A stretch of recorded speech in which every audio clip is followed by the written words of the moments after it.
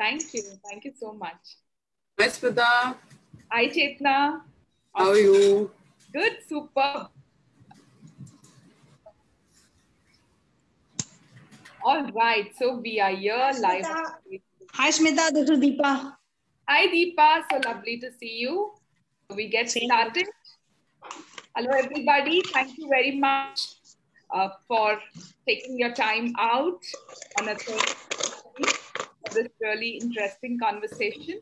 Just a request because we are live on FB and we have a lot of people online. If you could put yourselves on mute, and uh, we'll get a lot of time for all of you to be asking questions. So we will open up the lines then and you can uh, ask questions. So welcome. Uh, I hand this over to Madhura first. Madhura, you want to get started? Yes. Yes, Smita. Thank you. So, hello all. Welcome for today's session uh, by Eileen Kelpachar on the Posh Law. And we are here as an Indian Lawyers Association in India with a presence in about 75 plus cities. We do uh, different events, initiatives, and activities that give platform for lawyers and all legal professionals for networking, mentoring, and getting guidance, uh, or even for continuing their professional education. Uh, maybe by tonight or tomorrow morning, we'll send more details to you on email, and we all welcome you to join us on this mission. Smita, I hand it over to you. Thank you. Thank you so much, Madhura, for a quick introduction about ILA. So, uh, ILA and Kelp HR have been doing sessions together. The idea is come together and simplify the whole aspect of POSH. Uh, a little bit of introduction about Kelp HR. We started in 2013, exactly the year when we got this law, Prevention of Sexual Harassment, the Sexual Harassment of Women at Workplace, Prevention, Prohibition, and Redressal Act 2013. Uh, many a times when we look at the law and we see some aspects, it's just one paragraph given in. And we always wonder how to decipher more, how to learn more. So Kelp HR and ILA came together and we said that let's start simplifying things. So today's subject is very, very interesting. Um, it is about conciliation. So uh, before I start about the subject, a little bit about myself. I have total of 23 years of experience I started as an HR person. From last seven years, I have been running Kelp HR. I'm the CEO and co-founder. Uh, 2020, I was listed in the global diversity list as a consultant, D&I consultant.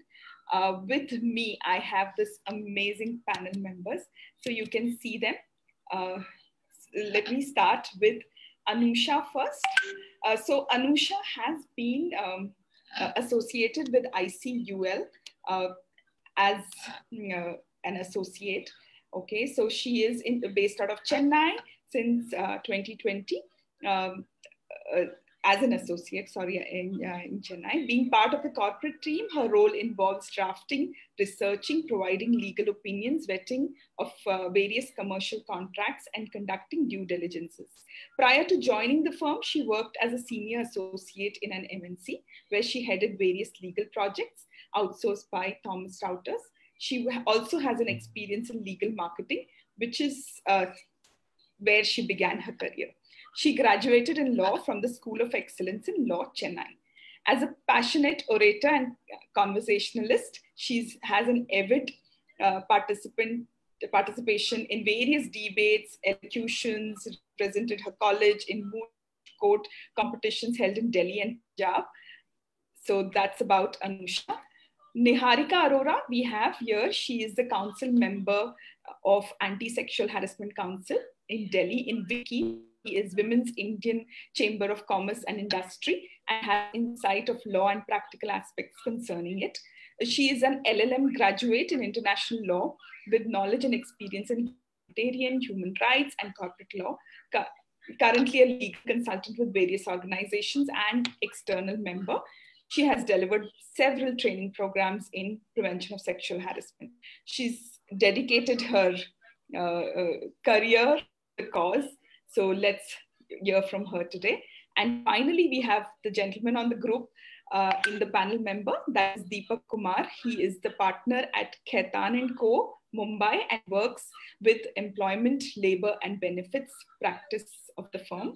Uh, recently recognized and listed as Asian uh, Legal uh, Business India, India Rising Stars on a range of contentious and non-contentious employment and labor matters concerning workforce and benefits, restructuring, managing industrial relations, strategizing India entry and exits, among others. A regular contributor on regulatory and policy developments and trends in employment law space. Deepak has taken up many speaking opportunities to discuss a range of employment and labor aspects at sessions organized by leading industry bodies and clients. So this is the panel, a huge, solid, super solid panel. So welcome on board all of you. It is awesome to be able to speak to you. Uh, before that, let me set the context. As I said in the beginning, conciliation. Uh, if you open English dictionary, this is what conciliation has to offer. It's an action of mediating between two disputing par parties or people. Okay, uh, that's, that's it. So there are two parties we are mediating between them. And what does the law say? Law says this one paragraph about conciliation. I've highlighted few aspects of it, that it is at the request of the grieved woman. Uh, no monetary settlement is provided there. Uh, once we conciliate the matter, the same is forwarded to the employer to take action as specified that comes out of the recommendation of IC. Uh, provide we have to ensure we have to provide copies of settlement to both the parties. Uh, no further inquiry shall, shall be conducted by internal committee once the conciliation is done. So that's about conciliation. And now uh, we call uh, Deepak, uh, Niharika and Anusha. Just if you could get started and tell us few lines about what do you think about the subject, uh, what do you any highlights about the subjects that subject that you would want to share here. Deepak, you could get started. Thank you, thank you, Smita, and uh, very uh, good, very, warm and good evening to everyone. Uh, taken out time to uh, hear us speak on this issue. Uh, uh, a very interesting subject, and the context has been very well put up by Smita. conciliation itself and the POSH uh, law and prevention of sexual harassment uh, as a matter is uh, taking up and getting a lot of traction in our country now. A lot of employers are warming up to it. Also, I understand there are a lot of hesitations, a lot of questions, not just amongst the target audience, uh, in res- uh, for protection of whom uh, this law has been framed, but also in respect of employers also who have to manage and organize and ensure that uh, appropriate committees are formed, uh, safe uh, and secure workplace is ensured for all their employees. And also a lot of employees who have to be part of the internal committee of the organization themselves and ensure that they act in a free and fair manner uh, while not just protecting the interests of the complainant and ensuring uh, due justice is delivered, but also to the fact that uh, the respondents are also not unjustly prejudiced or victimized at the workplace. And uh, it's and to, to, to be very honest, it's it's not an easy job to be done. It's it's something very difficult. And uh, uh the law itself, uh, if you read the uh, the act, which we very which very familiarly we call and refer to as, as a POSH Act it requires and refers, uh, provides broad outlines for how the committee members need to need to conduct the inquiry process. While they have been given wide powers in terms of conducting the inquiry and making a recommendation there are there are a lot of aspects which are left out open. And uh, the committee members are not judicial or judicially trained personnel. They are regular employees uh, like anyone else. So a lot of guidance and uh, uh, is, is is necessitated in that, and it's not something that you encounter on a daily basis. These are uh, exceptional matters where they come in, And this provision on conciliation is one such aspect which sometimes becomes very uh, a sticky subject as to how uh, do you deal with it and not just for complainants but also for committee members and for the management also that how best we introduce this conciliation uh, to the complainant at what stage should it be introduced? How do you communicate about the terms of conciliation such that it uh, it come it does doesn't come out as a, uh, as as an aspect that somebody is trying to scuttle the proceedings or uh, trying to dissuade the complainant into going for a more uh, a compromise route and uh, not moving forward with the complaint, but also while ensuring that in case if there is a possibility where the complainant and respondent can sit across a table and uh, any misunderstandings or issues can be sorted out upon mutual discussion, is this something that can be done? So the intent of the law is very clear, but unfortunately we have not seen too much of uh, judicial precedence or jurisprudence developed on the subject as to how to come up with it. And there are a lot of questions amongst everybody as to how this should be introduced, how this should be perceived, at what stage should it be perceived, how long can these go on, and there are there there is a lot of uh, what we call it as a gray area, a lot of questions which should revolve around this process.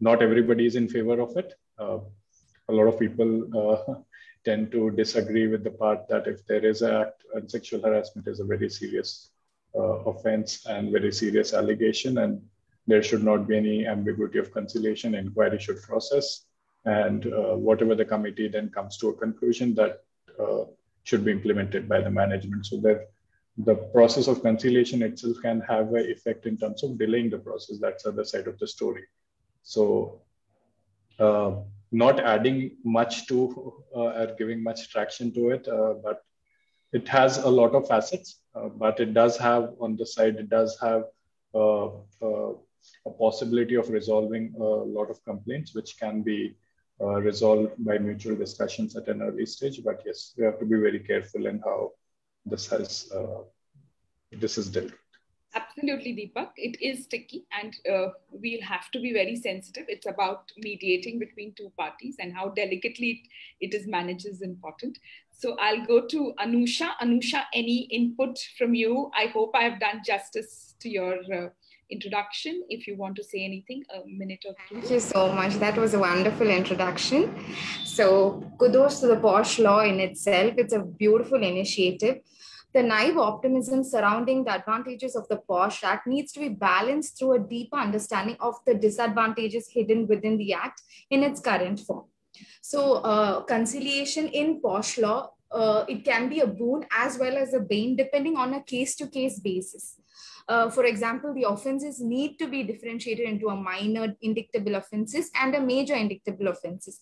The impact it has on the victim the aggrieved party the the depth of the impact and and how much the party is aware of the benefit he or she will receive from the inquiry or the conciliation depends largely upon a lot of educating going through the uh, the person the complainant so uh, taking if you're taking conciliation it, it majorly depends on a case to case case based and there's no fast rule to say hard or fast, fast rule to say that conciliation work in this case and will not work in this case.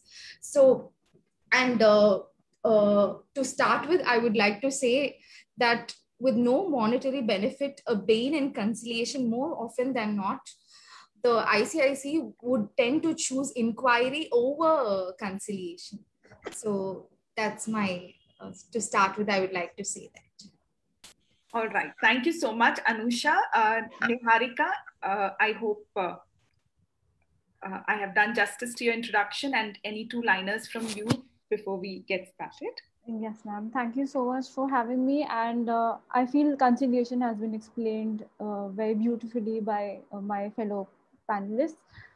the only aspect that I would like to add in what has already been said is the reason that why was conciliation made a part of this act uh, nobody obviously knows the intent and reason but there can always be this justification given that conciliation in its concept is basically a voluntary and a flexible way of resolving disputes it's it's independent it's uh, it's confidential it's and it's basically it gives the power to the complainant to decide what what essentially she wants.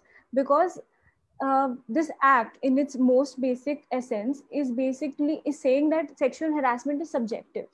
So it enables the complainant to let us know what she finds is offensive to her. Like because impact is greater than intent under this act.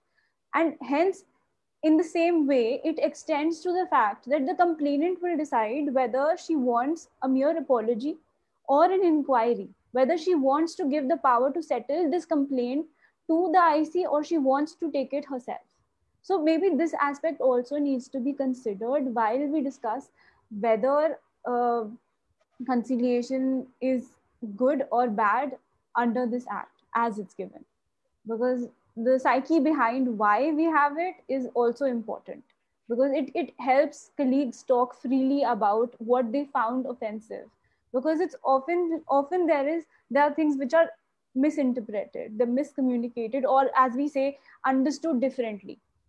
It's not even miscommunication anymore because it's understood differently by different people. Hence, conciliation is a positive way of resolving disputes provided it's handled carefully, provided there have been trainings in the organization before disputes have arisen, which are making it clear, which the point is going through that conciliation is not settlement conciliation is dispute resolving. It's not settlement. We're resolving a dispute between two colleagues by themselves. We're enabling them to talk amongst themselves. Awesome. That's that's uh, really nice, and you reminded me a point. Actually, we are discussing one particular case, or rather, helping to be uh, two individuals, as you rightly said, and uh, facilitating a discussion. And what we realized is there are two generation involved in it and what is okay for my generation may not be okay for your generation niharika because we ourselves belong to different generation right so for me what is okay is just not coming okay to you or for you what is okay is not just coming. So we are disputing over it and then it becomes a harassment uh, exactly. Right? because the intent is to understand different backgrounds different cultures where you're coming from what you interpret it's like in the same family. My brother and me we don't think alike. What I consider to be anti feminist or anti woman, he doesn't because I have to make him think about my point of view. So that's why people think differently. And I feel the intent of the act needs to be considered before we interpret any of the provisions. Absolutely. So I'm coming to my first question. And as we are discussing, I'll, I'll stay with you, Niharika, and tell me what do you think about it. How often do you see uh, complainant making a request of conciliation? Yes, Varun yeah you can go ahead yeah uh, yes ma'am all that was done what what what was yes i yes. have personally uh, personally uh, in the few cases that i've seen they first 90% of my cases in fact they first wanted to do a conciliation uh, I would like to point out here that there were no major offenses. I would say like major involving basically no physical uh, sexual harassment cases. There were uh, cases where there was staring involved. There were cases when there were uh, sexual innuendos uh, being involved in uh, daily con- conversations. But yes, conciliation was, I have had a very positive experience with conciliation because the girls who have come forward, uh, the women who have come forward, they've always wanted to first address the point that the other person doesn't even know that they are doing wrong. They should first acknowledge that it's not right to just say whatever they please. It's not right to disregard the other person's feelings, to disregard, disregard what other person considers their boundary. Like not everybody is uh, okay to discuss what is going on in Game of Thrones in a workplace scenario. So it is something that we'll have to communicate. We'll have to make people understand because, as you rightly said, that there are so many generations working together these days that you uh, we it's. I feel like it should have been a prerequisite. This anti-sexual harassment training should have been a prerequisite from the time immemorial because you know there's so many people from so many backgrounds you have to make them understand what is right and what is wrong at every you know like in workplace scenarios so yes conciliation has been very positively received at my end. Awesome. Uh, Deepak, do you think the same with the organizations that you have been dealing? How often do you see a complainant making a request for conciliation? Uh, you're on mute, Deepak. That's it. So uh, thank you, thank you, Smita, and a very interesting perspective uh, from Niharika on the practical side of the things, being a member on a lot of uh, internal committees for organizations.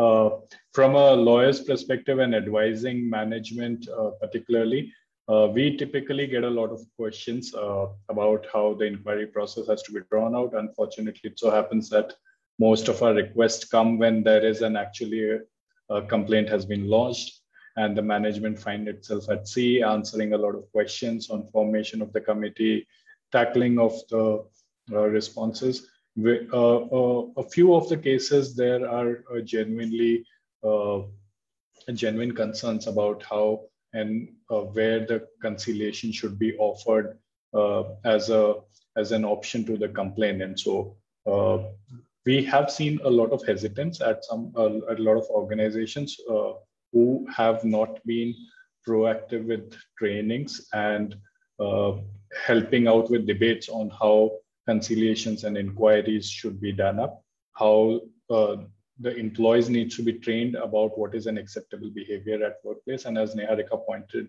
uh, that if we have more of such internal trainings about acceptable behavior, what are the rights and privileges of women uh, under the Sexual Harassment Act, uh, the other members should be made aware of what is acceptable and not acceptable, uh, particularly in terms of varying cultural backgrounds that we have, uh, the difference in generations, the age gaps that you have, um, the difference in uh, designation of various people that you have. And of course, no two workplaces are same, not even two departments in a workplace are same, where you're looking at a new age organization in a metropolis like Mumbai will be completely different from a tier two, tier three city uh, or a traditional workplace at a, a, smaller town. So things will be very different. The uh, important aspect here is that people need to be uh, made aware of uh, the requirements of the SAT. The training should be there, and so that they don't find uh, themselves at sea in terms of talking up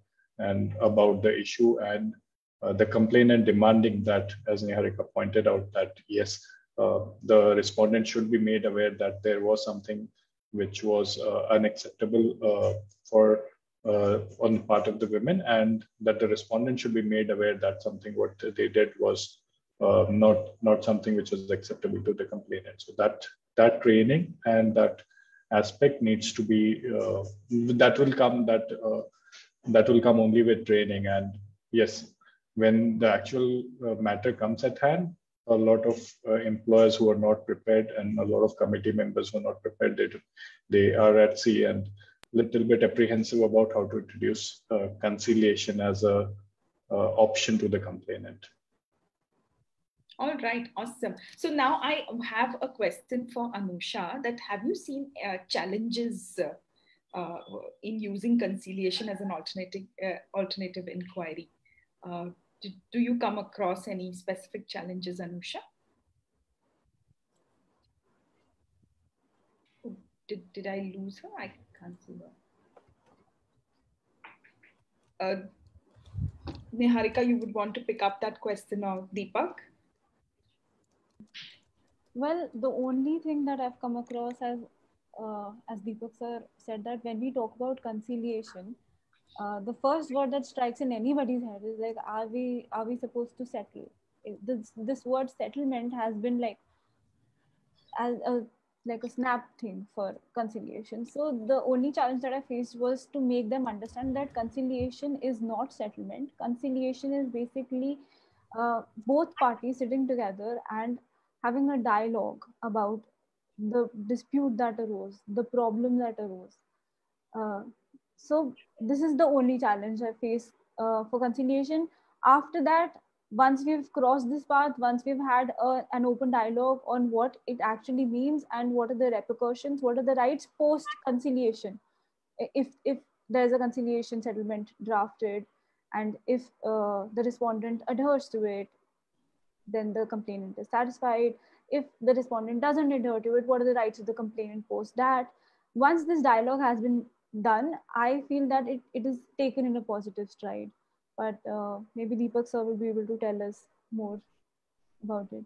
Deepak, what do you think? Do you do you think any challenges come up uh, uh, other than uh, when people use conciliation other than the full-fledged inquiry? No, de- definitely, uh, and and a lot of times it happens that when you don't have, as pointed out, when you don't have sufficient training and uh, education about these matters, the first time when you offer some uh, cons- option of conciliation to the complainant, uh, is it that am I required to? Are you telling me that oh, do I need to settle, or is it something uh, I can get out of it? That what exactly do I get out of a conciliation? What exactly are the contours? So it's very important that as an IC member, you are clear in terms of uh, when you offer an option of complainant uh, option of conciliation to the complainant, you also need to clarify that what does conciliation entail?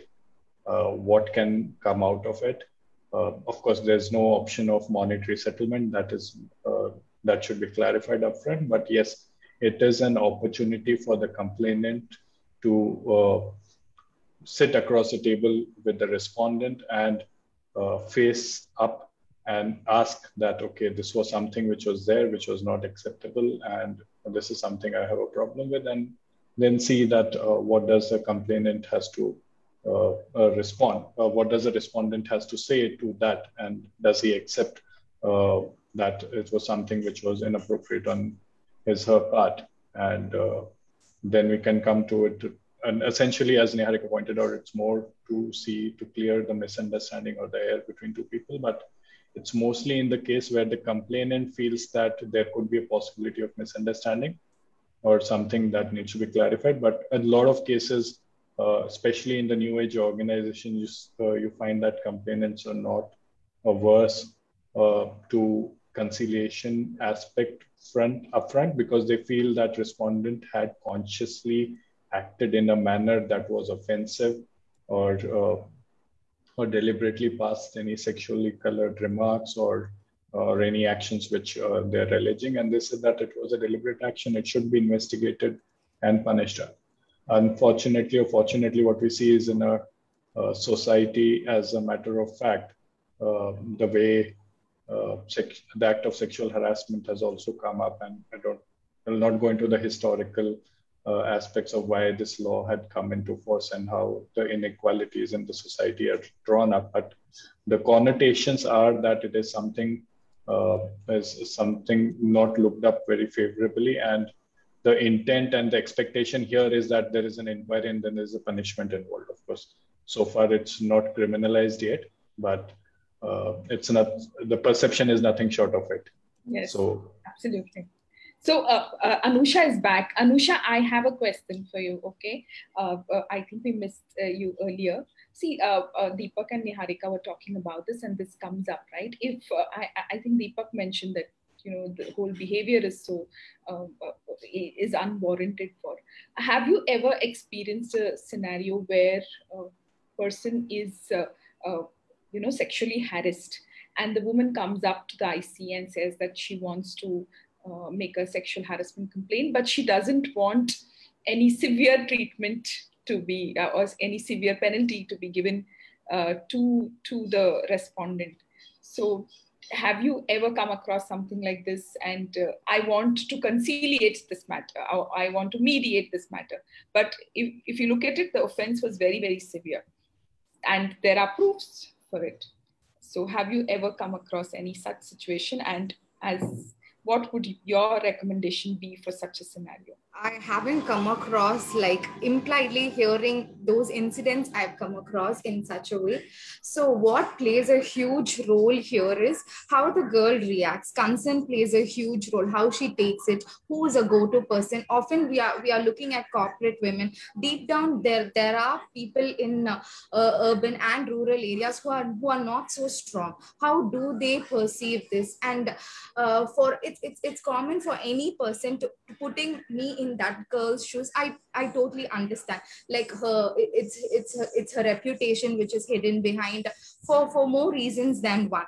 She might there there can be a, a for national uh, commission of women they in their annual report uh, 2018 to 19 stated that they want the cons- they recommended that they want conciliation removed from posh law because even uh, there's no minor offenses in sex in sexual offenses. They they term it like that. So they want it removed. So there's the other party which which uh, which want uh, which want the uh, which want it otherwise. They want to, to use conciliation for their own benefit. So considering both the sides uh, on a case to case basis one has to ascertain go deep into the into the problem and then analyze and take a call. Uh, blindly one cannot say that uh, uh, it's a grievous offense but i want the solution because here complainant plays a huge role. It, it's it's the burden of uh, proof lies on the complainant. So uh, I think that should also be heard. That part of the complainant also should be heard, and each case should be taken from a unique perspective. And uh, putting a common rule for all the cases will uh, will will will uh, defeat the purpose of the act. Yeah, absolutely. I agree with you, Anusha. And I have a next question that what could be the advantage of conciliation, particularly to complainant, if there is any advantage? Uh, that conciliation as a part of the law must have thought through what was the logic of bringing it. And Anusha just said that there is a discussion about removing that part. So is there, getting it in, is it beneficial to the to any of the parties, specifically for complainant. Do, uh, so, uh, Deepak, if you could attempt to respond to that question.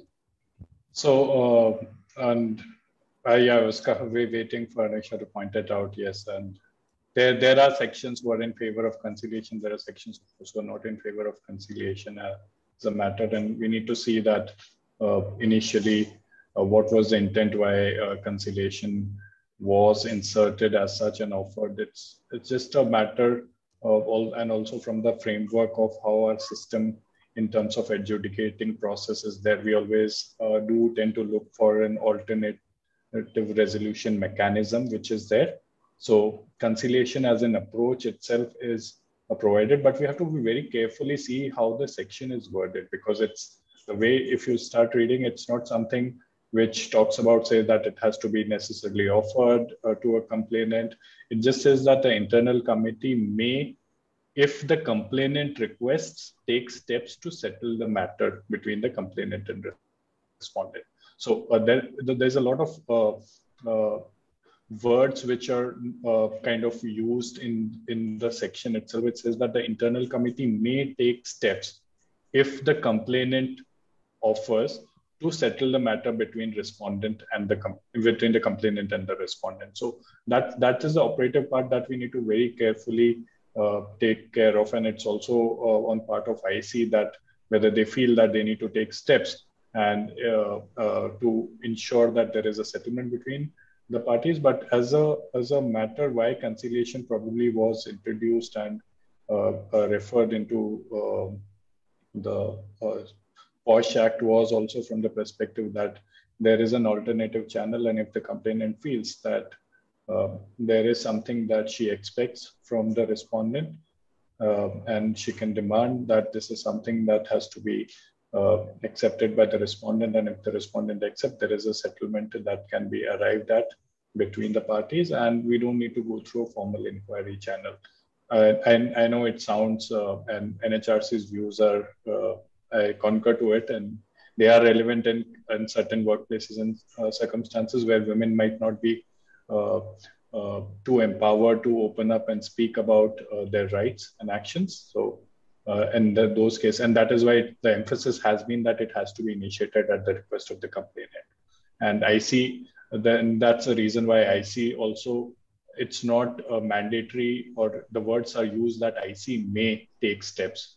It is also that to ensure that there is no undue pressure on the complainant to go through this conciliatory route and allow an easy way out for the respondent out of the allegation. And therefore, it has to be uh, very, uh, what do you say, very carefully navigated in uh, by the IC also, that it's not an every request for uh, conciliation that may be accepted by the IC. If they feel that prima facie there is no need for or their uh, settlement is something that may not uh, be very fruitful in such a matter, and inquiry is a must, then uh, then they should and ideally proceed with the inquiry process as such. But yes, the it's important factor is that the request for conciliation needs to come from the complainant, it's the aggrieved women.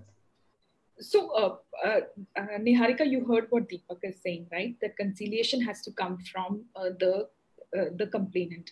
Now, uh, the real practical world that we are in, corporate world, we do not read policies. We do not know that there is something called conciliation there, right? So, as an, a woman, I wouldn't have even known that there is something called as conciliation and I have a right of it. So, does it become then IC's uh, role to explain to them or, or, point out to them or maybe nudge to them. Uh, I'm using too many words nudge, point out, explain. So, what is that you, you think? You know, you know, becomes the IC's role to do. Um, as uh, Deepak sir pointed out, that the law states that the IC may right. Uh, the word may is used. So obviously it's not a prerequisite to inquiry. But then at the same time, it is one of the courses that has been made available under the Act and the complainant has been given the right to choose. I would again like to reiterate the aim of the law is not to punish.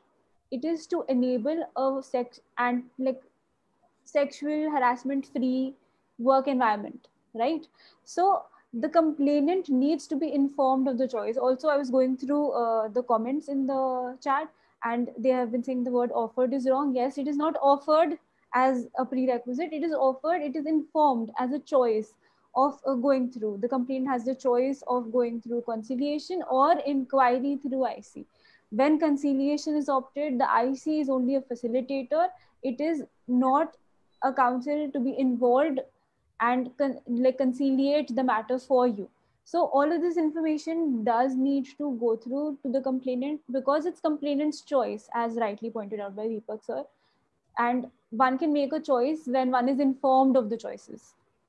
So yes i feel like it since it's given under the act if, if it if it's scraped off obviously it is scraped off but since it's given under the act it is the choice of the complainant to either go for conciliation or inquiry. Nobody has to make that choice for her so as a woman i would want to know what are my rights. It is my right to know it. Absolutely. Uh, i think we discussed this but i still want to ask this question to anusha that if the allegations are really severe and the woman is still um, uh, you know uh, gunning for conciliation like it is a severe act it should go to a police station or it should uh, ic should take immediate immediate uh, step because having that perpetrator in the system maybe for that woman no more could be dangerous but could be, be dangerous to other women employees. So can ic still say okay you want conciliation? We will we would okay go ahead and give conciliation or ic has a right to say you know we heard you but i don't think a conciliation is an option and a strong action needs to be taken. What do you think about this? The beauty of conciliation in itself that if it protects you from the uh, to withdraw from conciliation anytime without prejudice to their legal position, intercede at any stage of the proceeding you can still opt out if the conciliation doesn't work. And, and it also obligates the parties freedom seeking recourse to the court, court system as well. So as a first step, if conciliation doesn't work, then you can go proceed to the inquiry as well. So conciliation still acts as a filter. It uh, to see from a larger perspective, it is a boon to the complainant.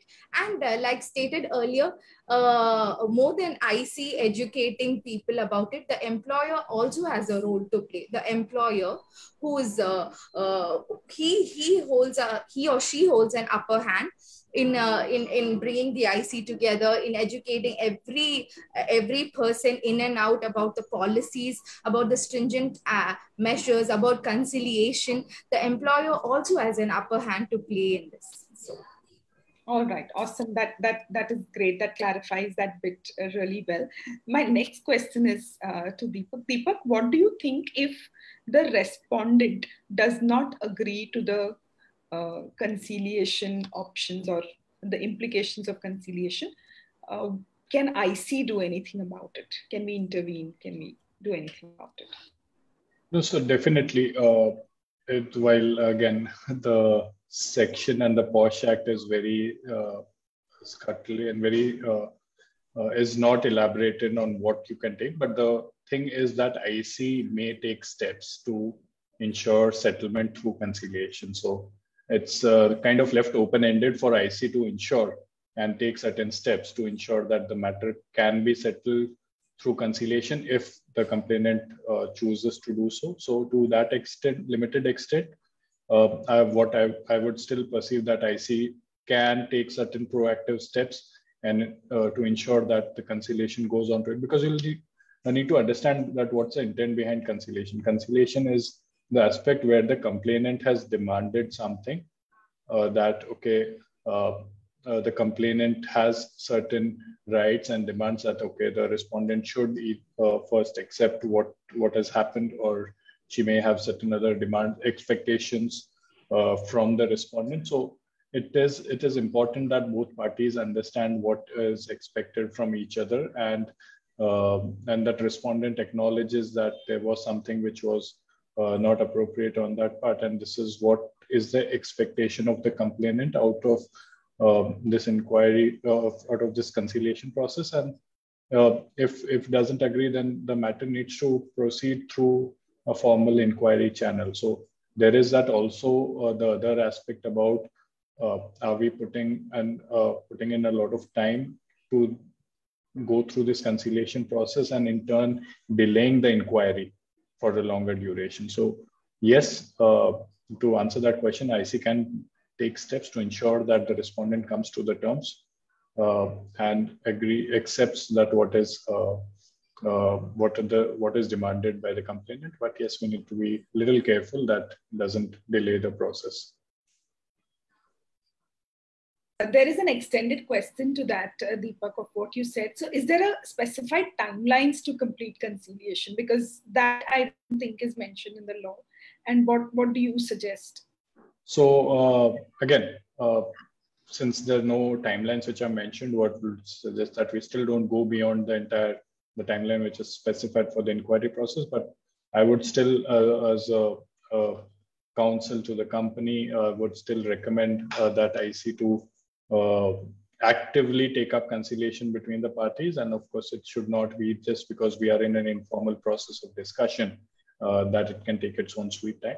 We need to be aware of the fact that there is a serious uh, issue that is here and it does just doesn't unnecessarily delays the process. And if neither of the parties are ready to budge, it could be on both sides, the complainant and respondents. If they, if the meeting of mind and meeting of expectation is not there, then we need to uh, move to the cons- uh, to the formal inquiry process because again uh, it is on the IC to take steps to ensure that the settlement through conciliation. So if IC feels that it is something which is unlikely or which is not uh, going in the expected route, then yes, we need to uh, opt and inform the parties that it's better to, and in the interest of justice, that uh, we proceed to a formal inquiry route sooner than later. So that 90 days and less than 90 days, because it could happen with conciliation or it could spill out. Definitely. So it should, should not see that we, we're essentially expanding it 90 plus 90 days. Yes. And just because conciliation is there and mentioned that doesn't give uh, time to the respondent to uh, delay the inquiry process to that much more time. Got it. So Niharika, any specific outcomes that conciliation has to be uh, uh, given um, given out as uh, outcome of the conciliation is there any special outcome that you think is listed in the law or anything that you have seen happening while you were dealing as an external member uh, well the law is uh, very vague about what the outcomes of conciliation can be. Uh, but there's one thing which is clearly stated there's no monetary settlement can be given as uh, as a recommendation or a conciliation settlement can't be monetary. Uh, the other thing is that uh, you can't basically seek termination or suspension of your uh, of the respondent under conciliation. Because uh, the whole concept of conciliation is an amicable dispute resolution. I would again use this word. Uh, and termination and suspension is something that you're basically punishing the person. You're basically holding him responsible for something which cannot be done before it is proved. And since inquiry is the way to do it, inquiry is the way where evidences are weighed, there is a recommendation made by the IC, which basically represents, which is a, a civil court in its power.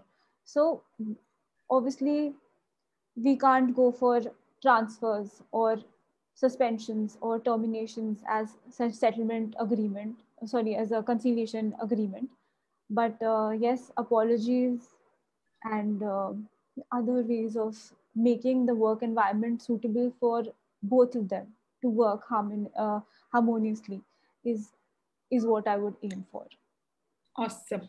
So, uh, Anusha, this is something that we were discussing, and I come to you. Uh, is IC responsible to rehabilitate both the parties once the conciliation is completed? Course, yes. So, uh, conclusion depends upon two things: whether the complainant has has given the complaint with a malicious intent, then we have to take. Then there again, it will it will not be concluded. That will again be a fresh start of allegation. Why did she do it? Do it? And then there's this other thing which which we which we are which we are familiar with uh, when the uh, when the accused is is proven guilty. So what uh, uh, common practice is a written, uh, depending upon the severity of the offenses, a written apology, a letter of warning, a reprimand or censure, uh, immediate transfer or suspension, withholding. But beyond this, the, I think there, there's a larger perspective. All these should pave way for a for a non-existent of sexual harassment workplace. So some kind of awareness or some kind of uh, uh, something should should happen out of the line. Like like like displaying it, it in the notice board by keeping the names of the parties anonymous. Something a new way of uh, solution to the uh, post the conclusion to stop these offenses should come into play. Right. Anything I uh, little more. Uh, what happens to the complainant and respondent? Uh, while this, what you just spoke about, is to create an amicable work environment, but you know they the matter is conciliated. They are going back maybe to same jobs or different jobs. Okay, uh, is there anything that IC should do to watch their uh, mental health, whether they are facing because there are two people sat across the table sorted. But what happens to them a month later? Are they so is that an ic's responsibility or we are done and dusted once the conciliation is done? Uh, i know it comes from an hr person human resource person. Uh, i i uh, want to ensure that we get back to normal. So that's why i'm extending this question a little more. Do, do you all in your practice in your this experience have you experienced this yeah. Uh, so although the act doesn't speak about it, what happens aftermath of the incident, uh, but IC can go a little way beyond, have a refreshed session again, talk to the person again, how is it, uh, monitor, micromanage the accused uh, or proven guilty. all those steps can be taken, but is it taken is a question mark and it and it differs from an institution to an institution. They should do it. If I was a panel member of an ICC, I would do it. All right. Thank you so much. Now I'm uh, going to few set of case studies. Uh, so we had requested uh, the participants to send in few questions beforehand so we could include that. So uh, one gentleman has sent us a case study and I'm going to read out that case study for the panel members to give a response to it and we could debate this out. Uh, debate this out. So uh, the case study goes like this: An employee who's in an engineering graduate with about three years of work experience in an IT organization has committed suicide four months back. That is January 2021. Looks like a real case. Apparently, due to frustration of several marriage proposals, resulted in rejection and family conflicts on her marriage proposals. This is what was revealed from her friends and colleagues. The demised employee's sister has now represented that her demised sister had relationship with her male colleague who was married and has two children and has been harassing her sister in past, which they have come to know now only after scrutinizing her mobile messages dated in May 2021 messages data in sorry not dated data messages data in 2021 uh, they claim that she had committed suicide because of that and desired action by the management surface level information received are that the demised employee and her male alleged colleague were very good friends had cordial relationship between them helpful and supportive to each other at work and nothing beyond there is no history of sexual harassment complaint made either by the demised employee or by any other on that alleged male employee. How this case is to be conciliated or dealt with. First of all, at the premise or face of it, I don't think it is a conciliation case, uh, but I'll let the panel members uh, uh, pick. Uh, Deepak, you want to go for it? Sure, Smita. So, uh, you rightly mentioned, I think uh, in this unfortunate case, uh, conciliation has to be uh, raised by the complainant, while the family can uh, uh, make a complaint before the IC on behalf of the complainant who's no more there. But conciliation, I don't believe, will offer much to the complainant's family, in this case, the deceased complainant, I must say. In case if they do have a genuine belief or, uh, or, or certain messages, as I may say, to prove that there were any mitigating circumstances, I believe it would be better from the family's perspective if they approach the law enforcement agencies in this regard. Uh, conciliation is unlikely to uh, provide uh, much from the deceased complainant's perspective in this case. Right. Uh, Niharika, you want to add anything here? Uh, I agree with Deepak, sir. Uh, taking in consideration the facts, uh, first, if, if the person genuinely wants an advice, first, can there be a complaint file? Yes, there can be a complaint file by the legal heir of the complainant. But rightly said, the conciliation is between the complainant and the respondent. And since the complainant uh, is not there, it is a very grave case to prove. So the evidence needs to be weighed in. There should be an inquiry according to uh, my knowledge and suggestion that uh, the case should be dealt in by the inquiry of the IC committee to weigh the evidence and come to a conclusion because it is, it is a very unfortunate case. Yeah. Anusha, you want to say anything? Yeah.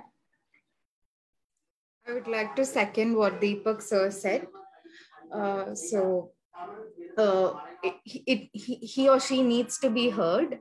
But there again, this is a case uh, which is a case which which is quite sensitive. So a deeper understanding of more factual evidence, we will be able to assess it. All right. Uh, do, do, you think uh, there could be, uh, uh there has to go, it has to go to police and IC can deal with it simultaneously or it should be first dealt with by IC and then it could go to law enforcement? What do you all think? I would say it rather the police get involved because uh, it is it is a uh, it is I think it's beyond the uh, the scope of ICC. Instead of battling between both the sectors, the uh, judi- uh, the police sector and the ICC, one person can handle it. So it's better for the police to take over this case. That would be my personal suggestion. Okay, so Anusha, I stay with you because there is another question which came to us beforehand.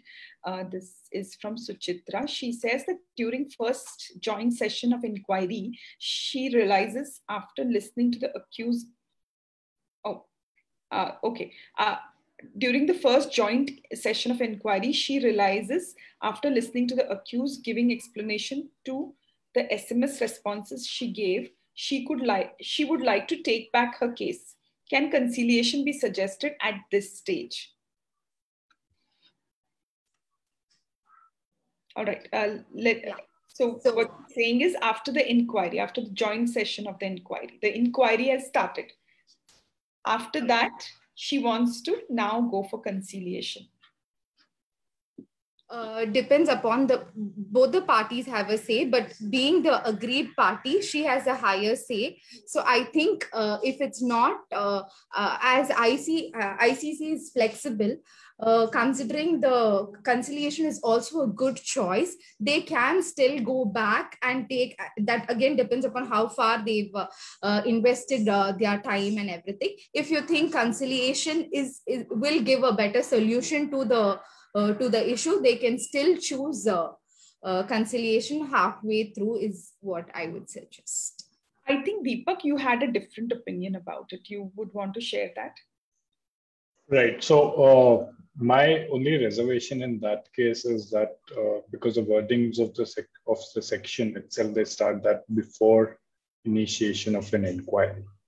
So uh, there was a there is probably a reason. Of course, I don't have much jurisprudence to support uh, uh, my argument or thought process here, but I would want to leave that in case if during mid-inquiry process there is a demand for conciliation, more often than not, there may be some uh, outside reasons why a complainant may want to go through a conciliation route and not let the inquiry proceed further.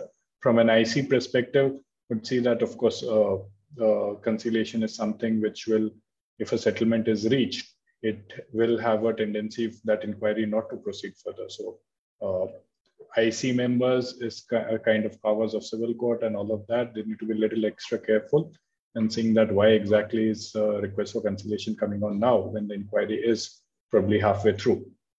So I would, uh, my advice would be that uh, not to go through unless of course uh, there is something uh, very severe about it or the reasons why the conciliation request is coming up now and not to abandon the inquiry once it has started. Niharika, do you do you whom do you support? we have two opinions here. I, I actually stand in the middle. So uh, I would really like the panelists to weigh in after what I've said. Uh, I agree with both of them, but then I will again come to the point of the objective of the act. Again and again, I'm saying this see the thing is that once uh, the inquiry is uh, on a roll and the complainant chooses to uh, conciliate. If there is uh, if the law says that conciliation can be informed as an option uh, before the inquiry starts it also does not say that conciliation cannot be done when the inquiry has started. There is no prohibition of conciliation uh, in between the inquiry. So um, since law is not black and white, so there's always the scope to go back to conciliation. Uh, also, uh, as an IC member, we, uh, IC committee, we have the power to ask and understand why the complainant in the middle of the inquiry wants to go for conciliation. And can she go for conciliation? Yes. But will the matter be conciliated also depends on the respondent. Like for instance, if uh, the complainant is uh, wanting conciliation because it is a malicious complaint and she knows that it will be proved then the respondent will would not want to conciliate.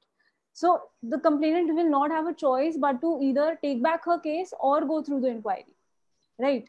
But so why conciliation is demanded like in between the inquiry is also important and conciliation can also always be asked for or opted but it does not necessarily mean that the matter will be conciliated because both parties need to agree on something. Absolutely, absolutely. right so i kind of stand in the between middle. and I, I stand with you okay? Thank you. I, I absolutely feel that uh, uh, you know there are things which are very clearly mentioned but i also feel there are some times where in words something is written but the spirit of it talks something else. Exactly. Or spirit of it means it differently. So I think spirit of the law is important, as you've been saying from the beginning, and I agree with this. All right. Uh, so the next one is Niharika. I stay with you. A bitch word was used during a meeting. An IC was registered uh, during inquiry. Witnesses brought forth why he came up with the word due to continuous badgering by the lady. During the session with the perpetrator, he said he would like to apologize if she's ready to take back the case. Can conciliation option be suggested to the victim as a choice she can make? Uh, well, obviously, uh, IC is supposed to inform the complainant about the choice of uh, inquiry or conciliation.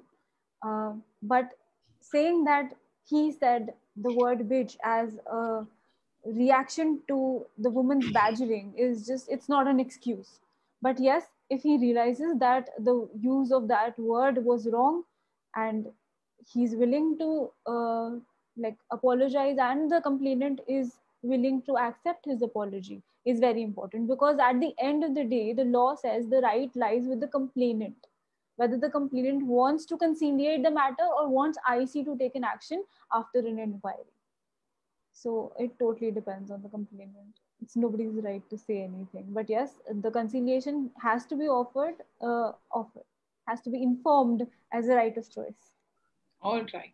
Thank you very much for that one. I'm going to wow there are so many questions in the chat box and i'll try and get few of them. We already ate at eight one. So uh, conciliation can't be offered. It has to be indicated by the okay. Uh, conciliation can't be offered. So anupama says conciliation can't be offered. It has to be indicated by the complainant is my understanding. You're right anupama but you know as i said uh, in the beginning that a lot of people do not know a word conciliation even exists in their policy. They have a right or responsibility. So it's a good idea to point it out. I don't think ic can offer can nudge can push uh, can uh, you know uh, force nothing can be done. But uh, i think uh, being an ic member for a really long time i realize when people come they don't even have an idea about it. So it's a good idea to show to show them that this is their right. They can be uh, there is an option of conciliation. So Sundarajan says something like conciliation is a fact-finding approach to establish prima facie to establish technicality, right? ICC, uh, uh, right or wrong, I don't know, panel. I'm I'm trying to respond on your behalf because I'm also mindful of time.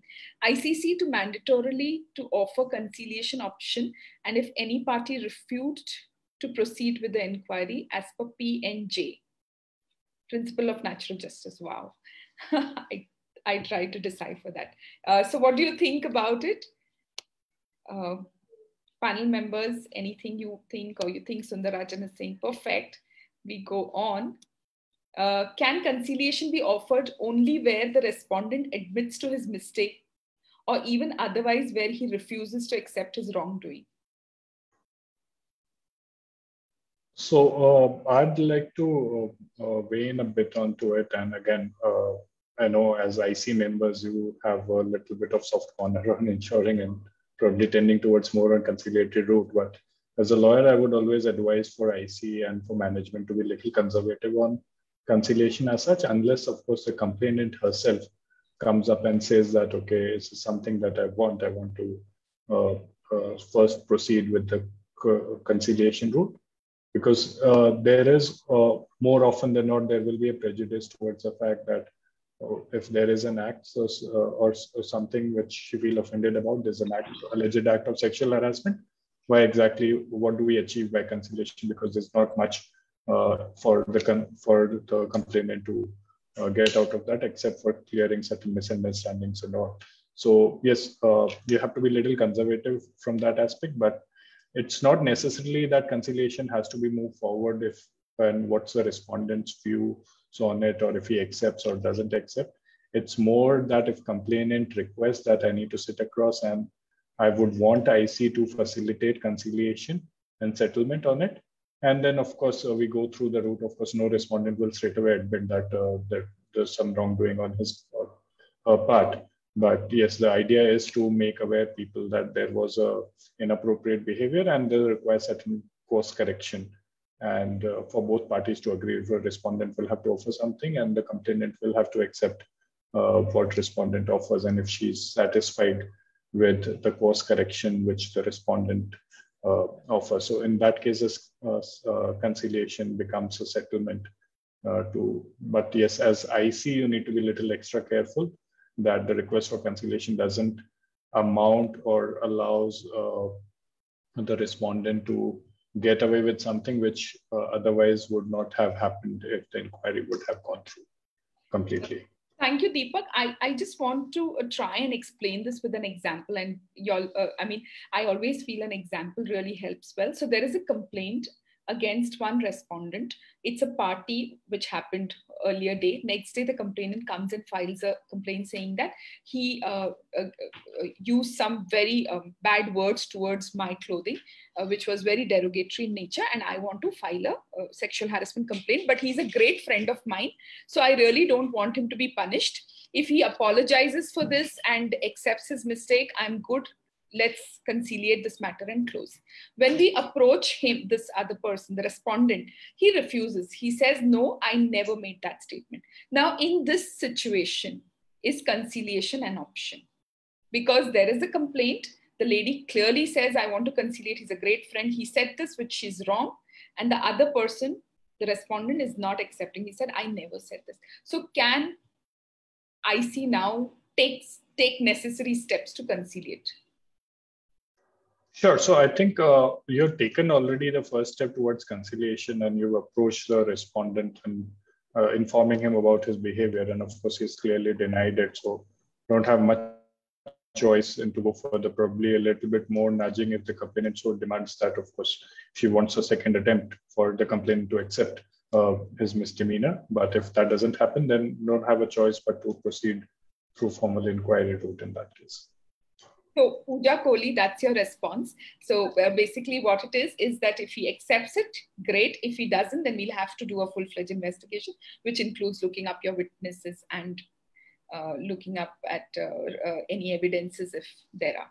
If I, I may, uh, I have uh, something to add here. when we talk of conciliation, we always focus on what the complainant would understand when we uh, give her an option of conciliation. What would she understand of conciliation? But we also need to address what a respondent uh, understands out of conciliation. Because conciliation doesn't necessarily mean that i'm admitting to what you're alleging. It basically also means an apology in the form i'm sorry if you misunderstood something. I did not mean it that way.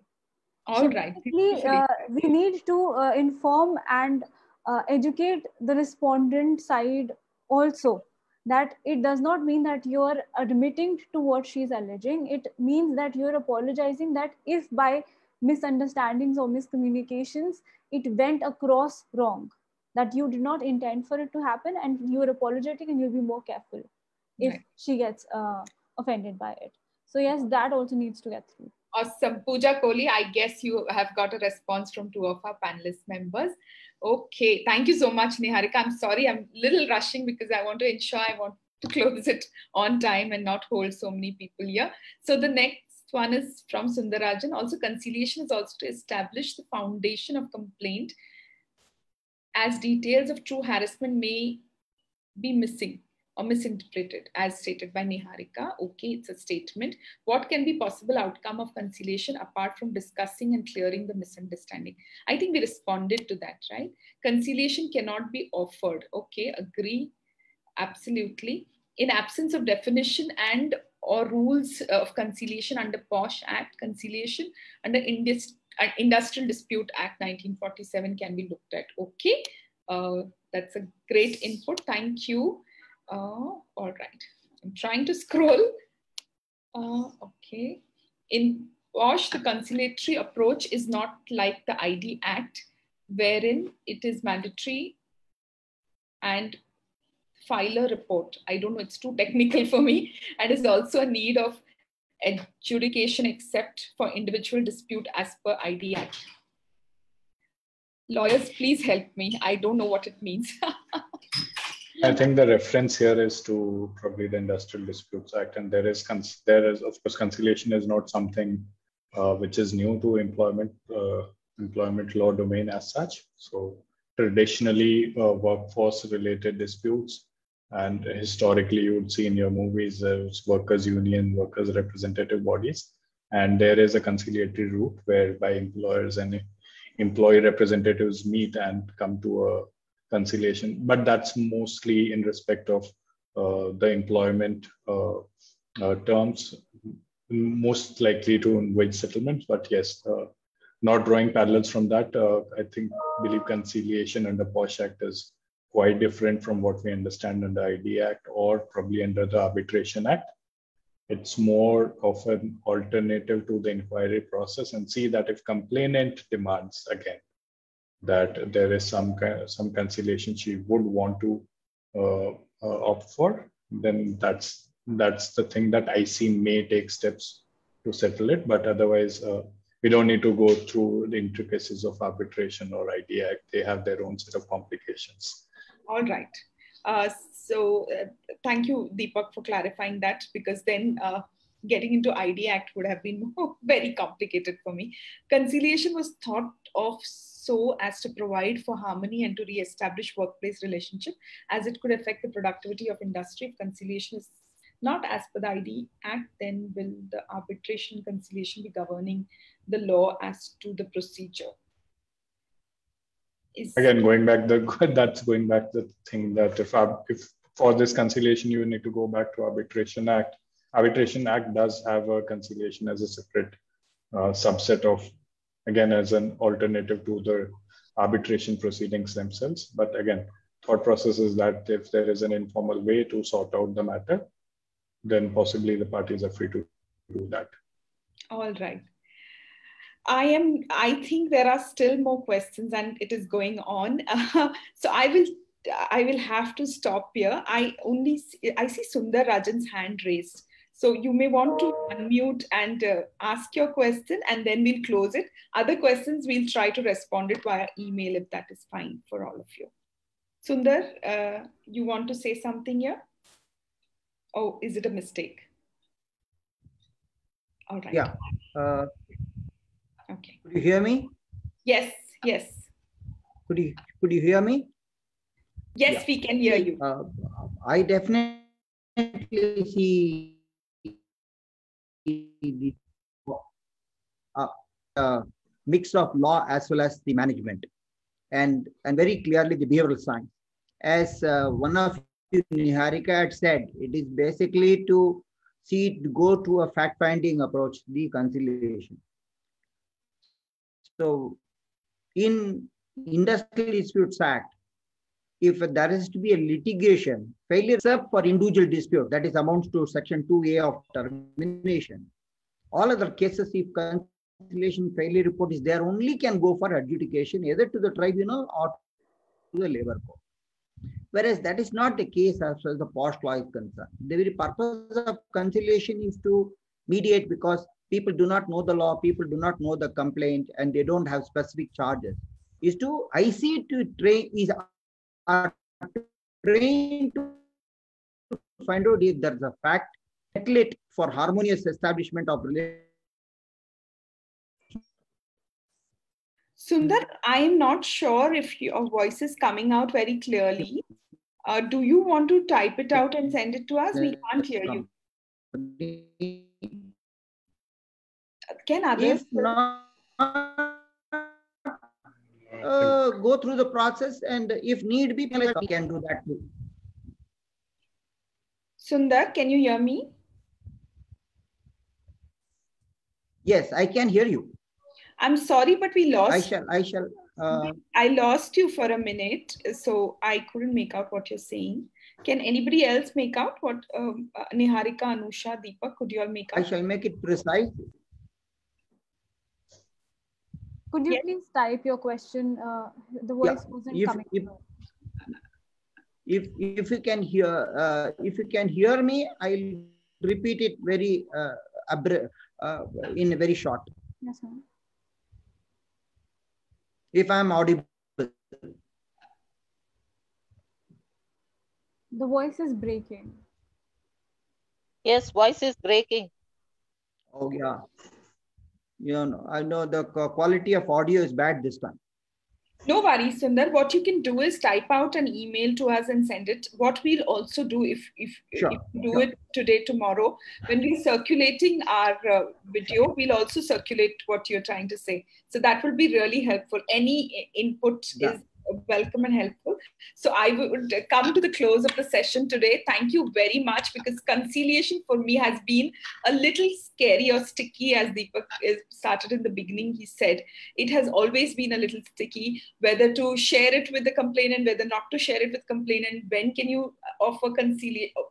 I don't want to use the word offer, that's the wrong word, whether to share with the com- complainant uh, that you can conciliate you cannot conciliate or uh, do we have a say about it? do we as an ic member do we, even have a say whether you can do it you cannot do it what happens if the respondent doesn't agree to the charges there are there has always been this unknown way unknown stuff in conciliation so been little hesitant today a lot of these got clarified and thank you very much for this eminent panel members here we'll continue this conversation every month on month and keep picking everybody's brains and just sharpen ourselves and thank you very much any closing comment from anybody would be great